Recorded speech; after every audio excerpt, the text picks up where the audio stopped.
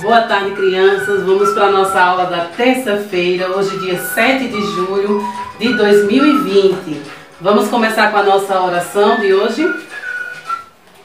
Em nome do Pai, do Filho do Espírito Santo. Amém.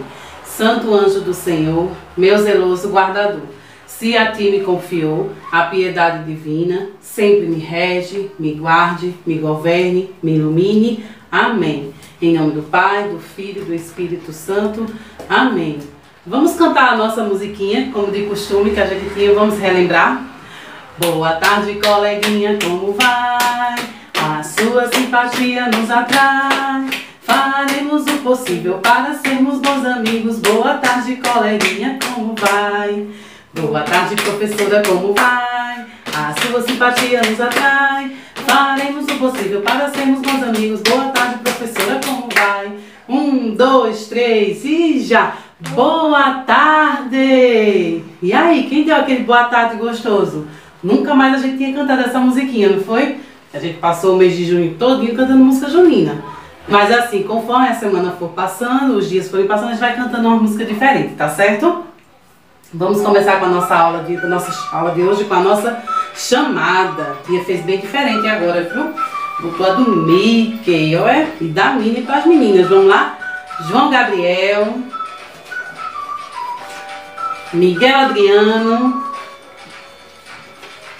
Pedro Ricardo, José Tiago, Joyce Maísa, Elisa Maria,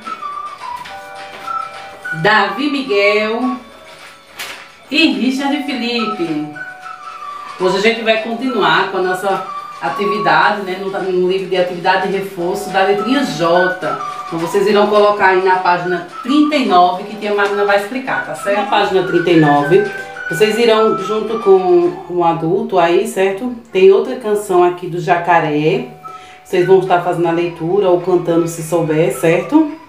E aqui vocês também irão circular no texto onde aparecem a palavra jacaré, que, tem, que nem tem no livro de linguagem.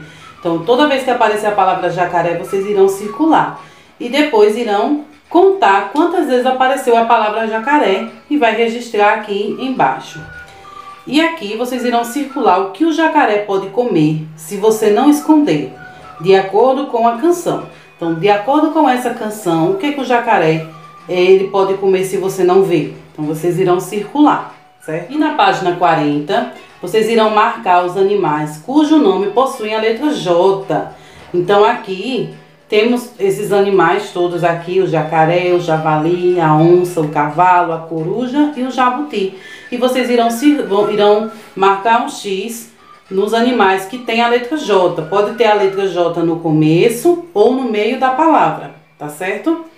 E aqui irão circular os nomes próprios que também possuem a letra J. Os nomes próprios são os nomes de pessoas, de cidades, certo? Então, no caso aqui só tem nomes de pessoas. Então, vai ter a letra J no começo e tem a letra J no meio da palavra também. Então, vocês irão circular. E agora a gente vai continuar com linguagem, sendo que vai ser atividade na folhinha e a gente vai revisar o alfabeto. Quem lembra do alfabeto aí?